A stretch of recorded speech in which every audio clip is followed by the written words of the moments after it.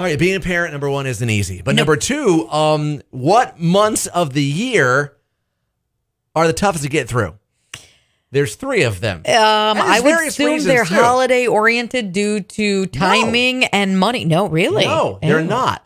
Um, January and March are tied for second worst. Um, February is the worst month, and there's reasons why February is the worst. Number one, it's wintertime.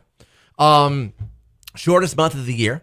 It's dark and gray, seasonal affective disorder. You're between seasons. You're still paying off the holidays. The kids Uh-huh. are kind of stuck inside, especially up here in southeastern Ontario Now, northern New York. In February, you're in the middle of winter.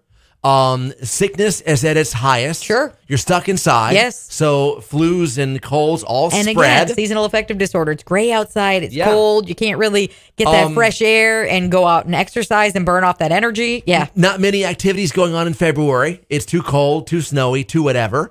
Um, yeah. So parents having in February, what days off do you have?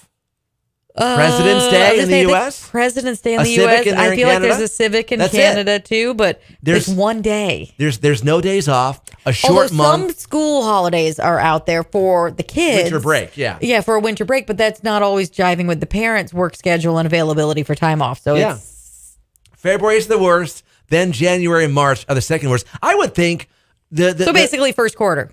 I would think the first month of the year would be tough for the school year in, in, in September. No, because you start getting into it. No, you start that. into it a little bit later because really you start back to school around like the third or fourth of the month, Mm-hmm. and you're coming off of the holidays, so you got a lot of leftovers in the fridge. You got all your presents and stuff. You probably have some gift cards and some money, so you're feeling pretty pretty spry. But I would say somewhere around like January 25th. That's when you're heading into February. Oh, yeah. the wheels start to come off the bus, Well, and yeah, you you realize I've got February and March ahead of me. months.